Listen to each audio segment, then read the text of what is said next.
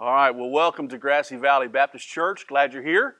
And all those that'll be watching us live, we're glad that you're with us as well. We're finishing up Hosea. And uh, we've been talking about an unfailing love to an unfaithful people. And tonight I'm excited. I'm excited about being able to finish up this book. It's been an ex- exciting book for me. As I've told you before, um, I've studied this book before, but usually I get through the first three chapters and then I'm done because when you get to the fourth and fifth chapters and sixth, all the way down, it's just nothing but prophecy, prophecy, and prophecy. And some of it's repetitive, but man, I've really, really enjoyed uh, going deeper into this book, uh, studying the chapters themselves. How many of you like to be late for things? No, nobody likes to be late. How many of you are late? You're just constantly. You I see one hand back this way. Just you, you never can help it. You're always late. Has anybody ever been that way? Okay. I, I hate to be late. Well, no, no. I, I, I, you are. I'm just. Have you ever, when you dated somebody, guys, did you did your girlfriend was she always late when she said you'd be ready by six o'clock? Was she always late? No. Okay. All right. Okay. Bill? I think one of the things that scares me, uh, and I've, I've, got a, there's some phobias in life. One of those things that I'm afraid of is when I'm, when I'm traveling, I've always been afraid of missing the flight.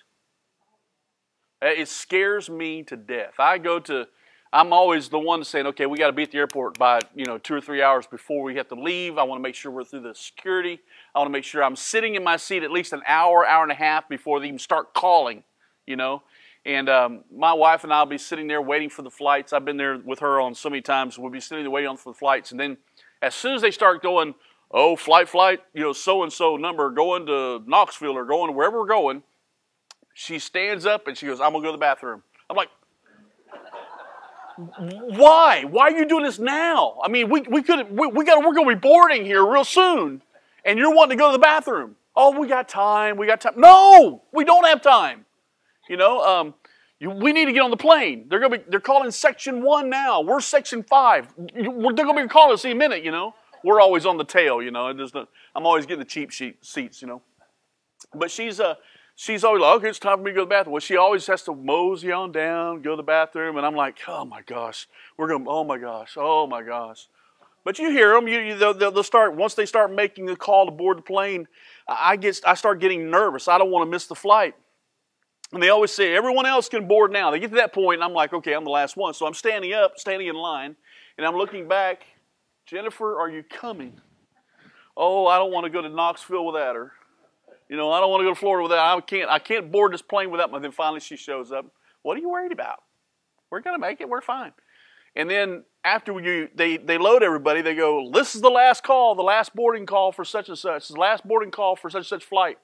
And I got to thinking about it because I've sat in, in the airports and I've listened to them call for other people, you know, I've called other planes, and after they get through all the boarding passes, they still go, This is the last call. This is the last call. 10 minutes later, this is the final call. And I'm thinking, we did have time. We did have time. We had time to go to the bathroom. We had time to do whatever we got to do. We're going to be shutting the doors in a few minutes. And I think in our passage tonight, Hosea is shouting to the Lord, shouting from the Lord, this is the last call. This is our last appeal. This is the last promise. This is his last word. Okay? And it's exciting because now that we, we've gone through all this hard, hard prophecy, Hosea is saying, This is the last of it right here. I want to share with you. This is his last call to you, uh, but it's all out of love. So if you've got your Bibles, turn to Hosea chapter 14 turn to Hosea chapter 14. We're going to be looking at the first three verses, and I want to I want you to notice the the very first um, the very first what I call the last appeal. Okay, this is what I call the last appeal, and it's really a last call to repent. Okay. In Hosea chapter 14, starting in verse 1, it says, Return, O Israel, to the Lord your God, for you have stumbled because of your iniquity. Take words with you and return to the Lord. Say to him, Take away all iniquity and receive us graciously, that we may present the fruit of our lips. Assyria will not save us. We will not ride on horses, nor will we say again, O God, to the work of our hands, for in you the orphan finds mercy. You know, though his people may turn away from him, God's not going to abandon them. I've my dad used to say this to me all the time. He used to use this illustration as a pastor. He'd tell the congregation, you know, my son Mark could look at me and get mad. He can spit in my face. He could slap me upside the face. He could kick me in the leg. He could grab his stuff, pack it all up, get in his car, and move away from the home. But he will never stop being my son. I may be mad at him. I may be upset with him. I may not want to speak to him ever again, but he'll never stop being my son. But my dad said, I'll always love my son. I'll always love my children. No matter how much they hurt you, no matter how much they make you mad, you'll always love them. I find that to be true. I love my children. I want to kill them sometimes, but um, don't be watching. If it, I hope that. Well, anyway, um, if they're watching, uh, Shannon, i will always love you, baby. Always. Uh, she's probably watching from Texas. I'd never get mad at you, baby. You're always great. Um, but you know, sometimes you just get mad. I mean, they do things that just irritate you. I mean, they say when they're little, they step on your feet. When they're older, they step on your heart. Right? Eh, they hurt you they they make you mad, and you go, "Oh my goodness, I just want to go," but they, you love them all the more. They're still your children. You can't stop. You never stop loving them. You care so much about them, right? And that's the way God is with us. That's the way God is with the nation of Israel. As much as they had hurt him, as much as they had abandoned him, as much as they had turned their backs on him, no matter how many idols they worshiped, no matter how wicked they had become, he still loved them and would never turn his back on them. And that's good news, isn't it? It's good news to us, I know. It's good news to me because I know that I've failed him. I know that I've done things that are stupid. I've made bad decisions. I've done wrong things, and yet God still loves me. Timothy, 2 Timothy 2.13 says, If we are faithless, he remains faithful, for he cannot deny himself. You see, that's just God's character. He's always faithful, even when we're unfaithful. Even when we, we, we, we find ourselves faithless, He is still faithful. So again, we come to the subject, and this is what I think is really interesting here. Hosea says, Repent, return, return, O Israel, to the Lord your God, for you stumbled against, stumbled because of your iniquity. I love the way Hosea does this because now he's looking at them and he goes, I'm going to speak to you like you're a child. I'm going to even give you the words you need to bring, the words you need to say, the words you need to use in your prayer. Here they are. If you're so thick in your head you can't get it through your head, you need to return to the Lord and say this. Here are the words I want you to say. And he says this Take words with you. Take, say to him, Take away all our iniquity and receive us graciously, that we may present the fruit of our lips. He's asking, he says, You guys need to repent. There's that word again, repent, right? Look at how Hosea says this. They need to repeat. These are people that had to acknowledge their sinfulness.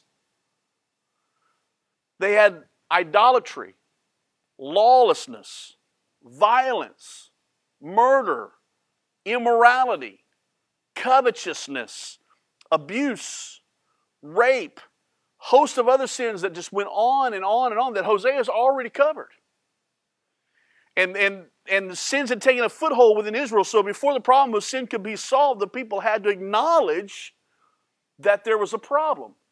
And I wonder oftentimes how many times we go and we don't even realize, or we, we just go before the Lord and we don't even acknowledge that we are sinners, that, we're, that we have a problem. We think we're good. Right? There's something we all need to do, Paul says. Paul says there's no one righteous, not even one. There's no one who understands, no one who seeks God. All have turned away. They have, ga- they have together become worthless. There is no one who does good, not even one. Their throats are open graves. Their tongues practice deceit. The poison of vipers is on their lips. Their mouths are full of cursings and bitterness.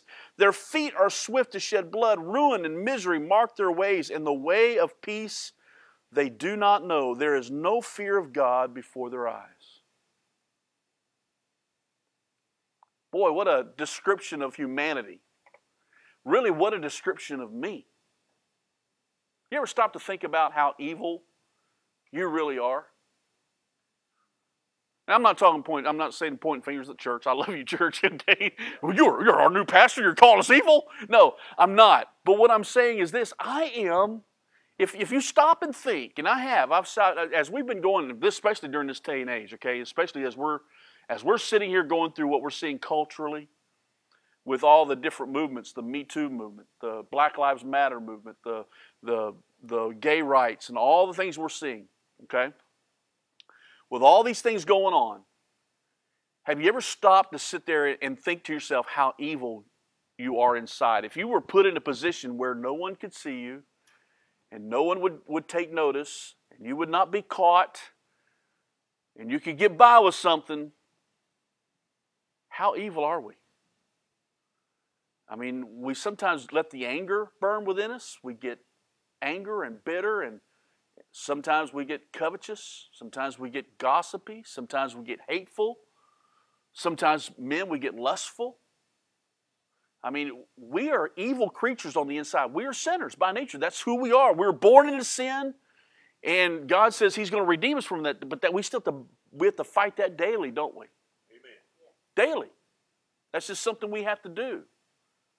The Bible says we have to. He, Paul says he had to buffet his day, his body daily, didn't he? He had to he had to constantly, those things he wanted to do, he didn't do, and the things he didn't want to do, he did.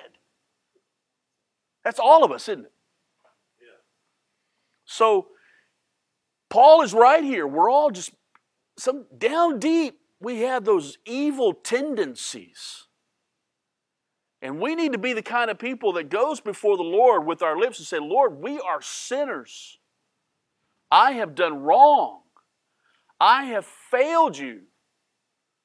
And you know, sometimes we don't even think about what we've done wrong. Sometimes we go to the Lord. I do this. Sometimes I go in my prayer life and I say, Lord, I know that I had done wrong, but I, I, really, at the moment, I can't say what I've done wrong. Can you help me? Can you help me remember what are those things? And I'm, I'm going to tell you something. God's good at reminding me on some things that I've done wrong. Maybe a person I didn't witness to, right? Or a person, or, or something I thought that day, or, or uh, getting my, my mind off track on what I should be doing. Sometimes we just, he, he likes to remind me of what I've done wrong. So we need to go to the Lord and ask for forgiveness. And then in verse 2, you'll see this. The people need to ask for forgiveness. It's not just a, a, of admitting, it's just not, it's not just a point of admitting that you've done something wrong. It's, it's saying, okay, Lord, I am done wrong. I need your forgiveness. They had to go, they had to go that extra step. Okay, did they ever realize that they were sinners? Did they ever realize that they were idolaters? Did they ever realize that they were adulterers? Did they ever realize that they were hateful and, and adulterous and all those things? Did they ever come to that conclusion? Well, if they did, then they needed to go before the Lord and repent and ask for forgiveness and say, Lord, I need, I need, to, to, I need your forgiveness. God is making it so that they have no excuse. He's telling them what to say. Hosea is going, here's what you say. Now, understand something, okay? Hosea lived in a time where the Holy Spirit did not come to talk to people. You and I don't know what that's like, okay? You and I live in an era where we have the Comforter, we have the Convictor, the Holy Spirit, who comes and convicts our hearts. He dwells among us, He lives within us, right? We know when we've done wrong. The Holy Spirit speaks to our inner soul and says, You've done wrong, you need to repent. Back then, they didn't have that. They did not have the Holy Spirit speaking to them. All they had was the prophet. And the prophet would say this Thus saith the Lord, the Assyrians are coming, you're going to be taken away in captivity, you need to repent. And to give you no excuse, here's the words you need to bring. Here's what you need to say. And they needed to hear it. And so he says, Say to him, Forgive all our sins and receive us graciously that we may offer the fruit of our lips. And then John says, You remember John in the New Testament, he says, If we confess our sins, he is what? He's faithful and just to what? Forgive us of our sins. We have the Holy Spirit, so the Holy Spirit speaks to us, and he says, Speak. We need to go to the Lord and confess it. Confess it. Uh, one of the biggest sins that we have in today's society that we don't even recognize, I think, is idolatry. You said, Brother Mark, I don't have any idols in my house. I don't make any graven images. Yeah, you do. Yeah, you do. They may not be made out of wood, it might be electronic, it might be made out of paper, little green stuff. It might be a wooden bat or a round soccer ball, round basketball. I've seen some families make travel ball their idol. Huh? That hurts, doesn't it? I've even seen somebody make uh, Mickey Mouse their idol. You say, well, how's that? Well, they go to meet, they, they, they've made Disney more important than anything else. I mean, nothing wrong with Disney, nothing wrong with going on vacation. But when you make that more important than anything else, when they would when they would give up when they would give up their job, when they would give up anything, they'd give up church, they'd give up vacation Bible school, they'd give up service, they'd give up anything just so they could go to Disney World, just so they could be a part of that several times a year. I mean, I understand. We all need vacations. But when your house is decorated that way, your life is decorated that way, your, your everything you surround yourself is decorated that way, you would give up everything just so you could be a part. Some of them have decided to even move down there when they retire because that's where they want to be. They know more about the parks than they do about the Bible.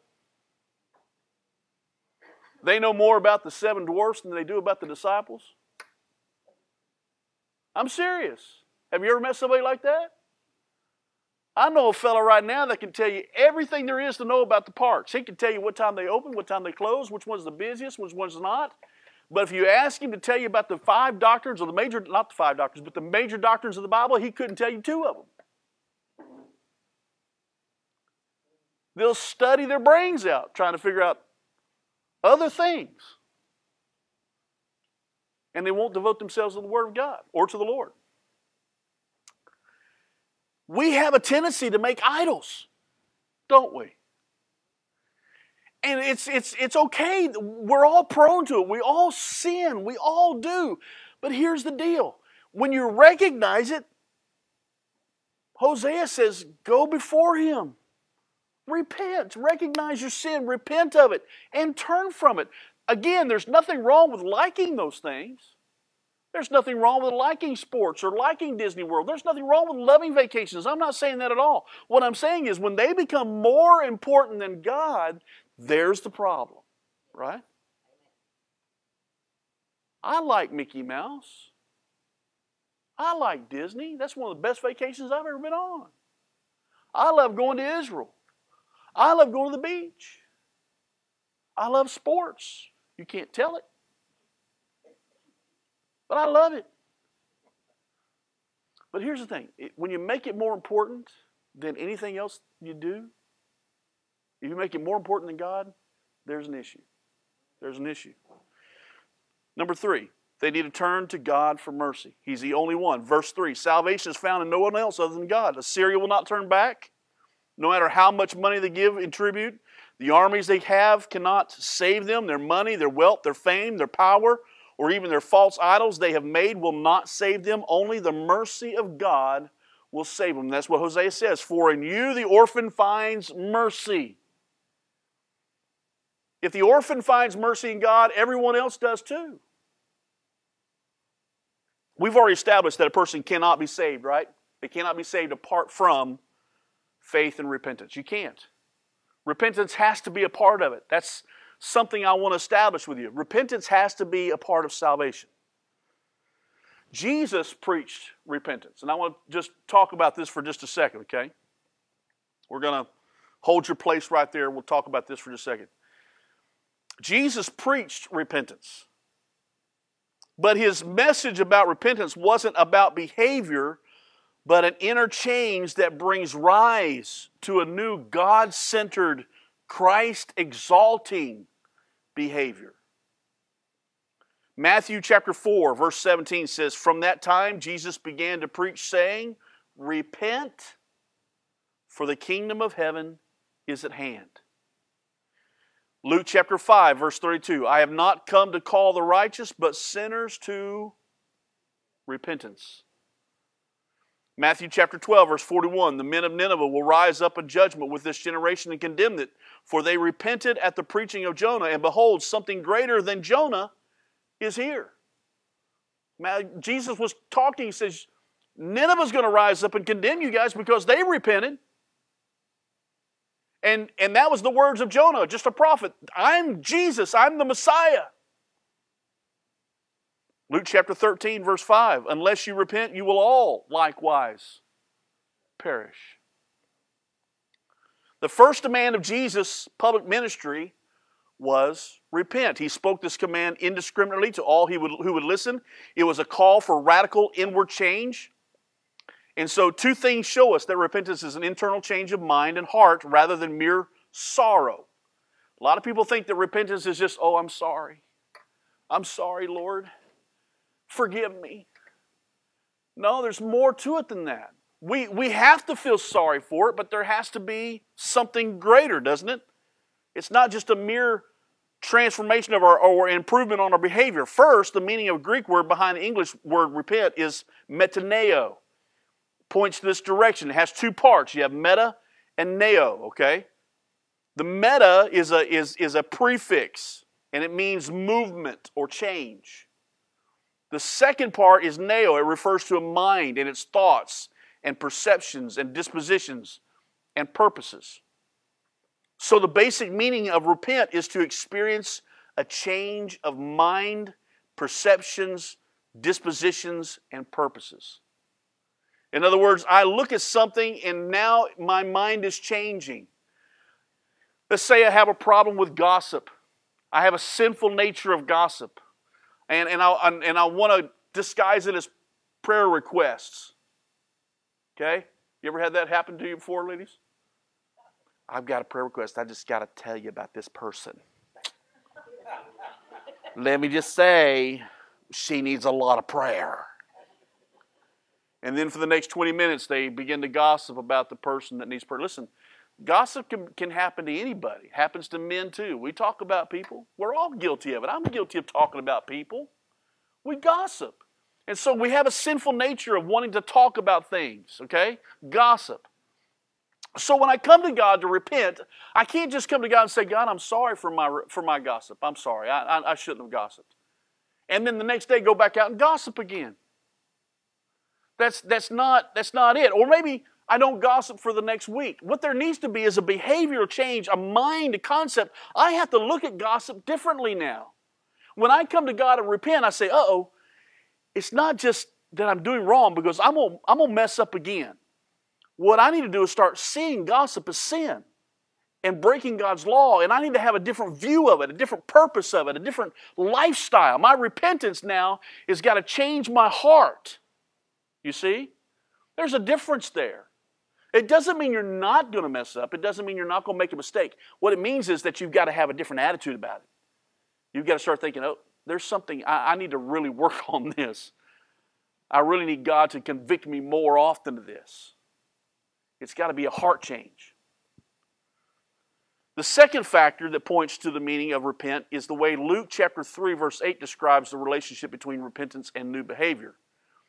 It says, bear fruits in keeping with repentance.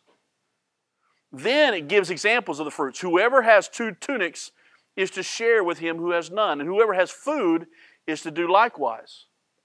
Luke chapter 3, verse 11 is where it says that. So this means that repenting is what happens inside of us that leads to the fruits of a new behavior. Repentance is not new deeds, but an inward change that bears fruit of new deeds. Jesus is demanding that we experience an inward change.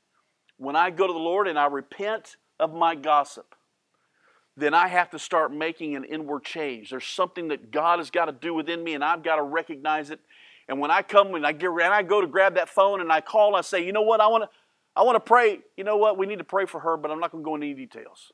Let's just pray for her. There has to be a different difference and change different heart change.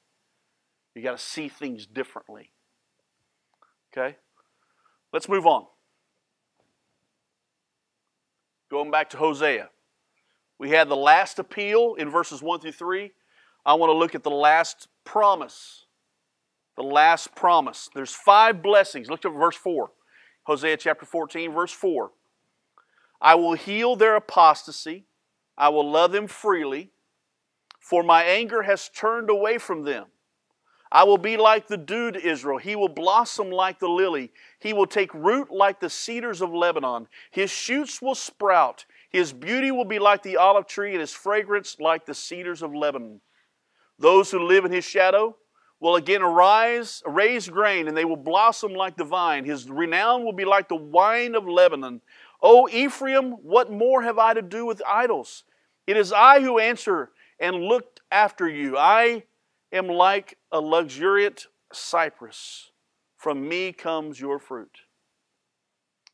Now, you say, did that ever happen? It hasn't happened yet. So is Hosea wrong? No. Here's what Hosea is doing. Hosea said, you know, you're going to you're going to one day become a nation again.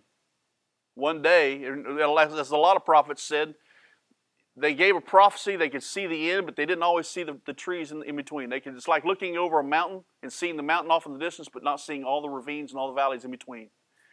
Prophets could see the end. They saw, and they would tell exactly what God said to say, and He would say this, and so they prophesied. One day, Israel's going to become a great nation again. One day, all the people are going to look at them again. One day, they're, they're going to be famous. One day, they're going to be the fragrance of the world. One day, everybody's going to surround them. And, well, when's that going to happen? When's it going to happen? You know. When's it going to happen? I'm asking y'all, when's it going to happen?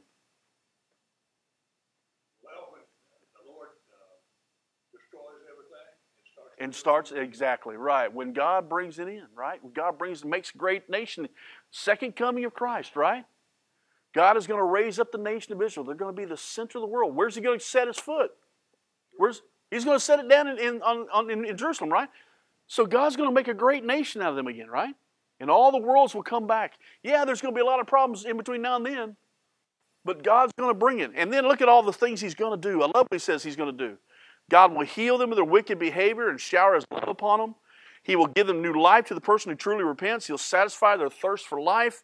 God will make a nation strong like the cedar tree of Lebanon. The Lord will give deep roots to His people. In other words, He's going to cause them to grow deeply, deeply in His Word. They're going to love Him. They're going to grow deeply. They're going to become mature people in His Word, grow in faith as a mighty nation of people. And look how He describes their blessings beautiful like the splendor of an olive tree acceptable to all, producing a fragrance of a cedar tree, secure, dwelling in the shade of the protection of God's, God Himself, fruitful, blossoming like a flourishing vine with the fruit of God's Spirit, and famous like the wine of Lebanon. He is going to make them such a great nation. Why? Because He will reign as the King. He'll come back. Those are His people. He will erase all idolatrous worship. They will no longer put their trust in false gods. He will answer their prayer and meet all their needs. He will, needs. He will be like a green tree that always bears fruit and provides for his people. Well, we know that hadn't happened yet. They still don't know him as God yet. They, you go to Israel with me sometime, you'll find out they still don't believe that Jesus Christ was the Messiah. Some do, most of them do not. They're still looking for the Messiah. I had a guide that knew the Bible right, backwards, upwards, and downwards, and sideways. He knew everything about it, but still didn't believe Jesus was the Messiah. It's, it's astounding to me. But one day they will. One day they will grow deep. One day they will have great faith. One day they will worship, right? All right. So we have the last appeal, we have the last promise. I also want you to see the last word. And this will get you right here. Hosea chapter 14, verse 9. Whoever is wise, let him understand these things. Whoever's discerning, let him know them. For the ways of the Lord are right, and the righteous will walk in them, but transgressors will stumble in them. Whoever's right, wise will learn and walk in these ways. Um, I hope my children don't watch this. Shannon, I'm sorry. Turn your turn your computer off, Shannon. Um, when I when I was growing up, I thought I knew everything. And I know it's it's a common plague of teenagers. I'm sorry, guys. I know it's a common plague of teenagers to think you've got the world by the tail. You know everything there is to know about everything. You know exactly what you're doing when you get a job. You know exactly what you're doing when you buy a house. You know exactly what you're doing when you're doing this and doing that, right? I talk. I, have done this before. I've talked to my kids before, and I said, "Look, if I could go back in time, there's some things I'd change. There's some things I'd do differently." How many of you would do that? Okay, just about every adult in this room has raised their hand. If you could go back in time, you would do things differently. If you could go back in time and listen to your parents, would you do it? How many would do that? Amen. Did your parents have some wisdom? Amen. Yeah. When I was growing up, I thought like most teenagers, parents don't have a clue what they're talking about because they don't live in the era that I'm living in. They don't understand what teenagers are going through. I mean, they don't understand what it is to write a letter. They don't understand what it means to, to dial on the phone and have to miss your girlfriend because you can't stay on there for long distance. Now we have teenagers that don't know how to dial a phone. You give them a rotary phone, they wouldn't know what to do with it. What's a rotary? What's a rotary phone? What's a letter? You know? We, we, they have we have emails, texting, FaceTime, all that stuff. And I, I, look at it and go, man, if I had a girlfriend that lived in California and I had FaceTime, we'd have been a lot, we'd been together a lot longer than I did when we weren't writing letters because you know, writing letters just got old real quick. You'd break up with a long distance relationship never worked. And then they, now they got dating apps. You can find somebody on on Love Tingle. I don't know what it is. I'm just making up names now. You just you can I'm just making up names now, but you can find you find all these all these apps, all these different websites. You can find love. They'll love match all these match these matches. Oh, match perfect man. They they'll match you up. You answer all the questions just right. They'll match you with the perfect mate. Man, in my day, it was like, are you the one? Are you the one? Are you the one? I, I remember when I was in a quartet, I went and sang in front of a group one time, and I said, uh, after the song, after the group was over, there was this beautiful girl, and I walked up to her and I said, "Man, you, you remind me of my first wife." She said, "Well, how many times you been married?" I said, "I've never been married." that was a good pickup line, wasn't it? But I was like, I was, I was just, I mean, I was love strict. I'm, but but today things have changed, and so teenagers today go, "You don't understand what I'm going through." You don't understand how to handle all that. We got we got bullying on the internet. You didn't have that problem. No, I didn't have any problem with bullying. Are you kidding me? Yeah, I did. We just got it face to face. We didn't do it over the internet. We got shoved up against the lockers. Uh, did you? Yeah, we had bullying in high school. You didn't have problems with drugs. Yeah, we did. Well, you went to a Christian school, Dad. You didn't have any problem with, with kids having sex. Yeah, we did. We had the same issues, we had the same problems. And if I could go back and learn from my parents and listen to what they said and said, Mark, you'll do this, you'll stay out of trouble. If you'll do that, you'll cause yourself to have a whole lot of happier life and, and, and miss some pitfalls that I made. And now, when I, as a parent, I try to say, kids, if you'll just do some things I'm trying to tell you, you'll keep yourself from having some heartache. And no. You, you, you, you don't understand, don't you? Every parent in this room is going, yeah. It's hard raising kids. It really is. But Hosea says, if you'll listen to my words, those that I've, those words that I've given you from the Lord God Himself, if you'll listen to these words, you'll be able to walk rightly. You'll be able to not stumble and not fall. You'll live in blessing and not and not stumble into unrighteousness and, and hurt yourself. You will save yourself a lot of heartache if you'll just listen to my words. And and oftentimes I think we the pastors have the same issue on Sunday mornings that we have every other time. We preach the Word of God, we're preaching the Word of God, we're preaching the Word of God, and we say, if you'll just listen to what God has to say, things will change. But so many times we let the same thing happen that they did. It just goes, in one ear and out the other, or goes right overhead. We're thinking about tomorrow's work day, or we're thinking about the car we want to buy, or we're thinking about the house problems, or we're thinking about children and their issues, and we and we come to church not prepared to hear God's word. We come we come to meetings like this, and we've had a rough day, and I understand that you're tired, and then we get you hyped up on sugar. I'm not complaining about that at all. I understand. But the Word of God is there for us to grow by. And Hosea says, if you'll listen, you'll see that the ways of the Lord are right. If you'll just listen, the righteous walk in them and experience the blessings and obedience. But if you refuse to listen, here's what's going to happen. If you're rebellious, you're going to stumble. You're going to fall into destruction. And it's going to be a direct result of disobedience because you wouldn't listen. The broken commandments become the ultimate reason for their downfall. Tom, Thomas Edward McComiskey said this about, he, he was writing about the closing of Hosea. He was kind of writing a summation. He said this Hosea's marriage was bittersweet, but so was Yahweh's relationship with his people. They stumbled in the way and fell. They rationalized their false religion and defended their national policies as necessary to their survival. All the while, they moved closer to extinction. The key to survival and eventual exaltation as a people was simple yet profound. They had only to acknowledge their wrongdoing. If their hearts were broken, their relationship to God would be mended.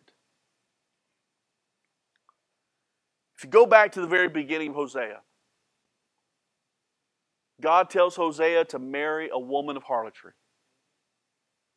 It was a beautiful picture of the way Israel was treating God.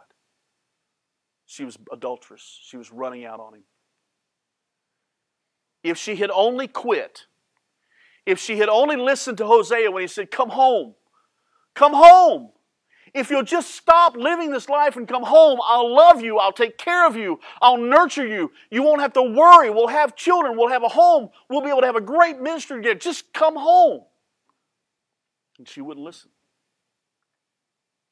And she kept stumbling and kept stumbling and kept stumbling, and, and to the point of that she finally got sold into slavery. It took her falling to the depths of despair and brokenness for her to wake up. So, in light of all that, in light of all the destruction that came their way, and, and God brought judgment upon the nation of Israel, we know it. Hosea's prophecies came true. Assyria came down, wiped them out. I proved that to you last week. I showed it to you in gory detail. The judgment of God fell if they had just listened, if they had just repented, oh, what God would have done for them. So I want to close by asking you some questions. Number one, if you and I are the bride of Christ, are we being faithful to Him and Him alone? Are we? Is there anything in our life that is more important than God? Has that one thing become an idol in your life? Are you and I willing to repent? To forsake all and return to Him? And add to that, stay faithful to Him. Not just return, but stay faithful. Whoever's wise, let him understand these things. Whosoever is discerning, let him know them. For the ways of the Lord are right. The ways of the Lord are right. And the righteous will walk in them, but the transgressors will stumble in them. Peter talks about this in 1 Peter, and I'm going to close with this. 1 Peter chapter 2, verse 4, he says, In coming to him as to a living stone, which has been rejected by men, but is choice and precious in the sight of God, you also, as living stones, are being built up as a spiritual house for the holy priesthood to offer up spiritual sacrifices acceptable to God through Jesus Christ. For this is contained in Scripture Behold, I lay, lay in Zion a choice stone, a precious cornerstone, and he who believes in him will not be disappointed. This precious value then is for you who believe, but for those who don't believe or disbelieve, the stone which the builders rejected, this became the very cornerstone and a stone of stumbling and offense. For the believer, for those of us who believe in Christ and we remain faithful, He is the chief cornerstone. But for the disbeliever, for those that don't want to obey, that don't believe in God, it's going to become a stumbling block, a stumbling stone. Paul, Peter understood this. Paul understood it. He, he quoted it too. So, I, again, I ask you are you and I willing to repent, forsake all, return to Him, and stay faithful to Him? That's the question. Will you bow your heads? Father, I want to thank you for this time tonight. I thank you for your word. I thank you for Hosea and, and the powerful message that he, he gives every chapter. Lord, I understand the, the, his life story. I understand his testimony. I understand his, that it was a, a perfect vision of how Israel was treating you. And, and I understand the anger, Lord. I understand the bitterness and the, and the hatred and, and, and, and the anger that you, that you well, not necessarily ha- hatred, but the anger that you brought against them because of how they were treating you. And Father, I understand that we deserve to be, Lord, I deserve. I deserve to have that burning anger against me. How many times have I run out on you? How many times have I failed you? How many times have I worshiped other things and put other things more important than you? And Father, that can't be. It can't be. I've got to live a life, Father, that is pleasing to you. I've got to live a life that follows your commands. I want to be, I want to be blessed. I don't want to stumble. Father, I just pray that we're not too late. I pray for our country, for our nation. I pray for our families, those that are not here that we're praying for, those that, Lord, I know so many cards are coming in for family members of, that need to be back in church. And it's not just church, Father, they need to be back in a relationship with you. So, Father, I lift them up to you and I pray that it's not too late. I pray that we will, as a nation, repent, that we as churches, as Christians, will come back to you, that we'll love you, and you only. I pray this in the name of Jesus Christ. Amen. Amen. Any comments or questions? Yes, sir.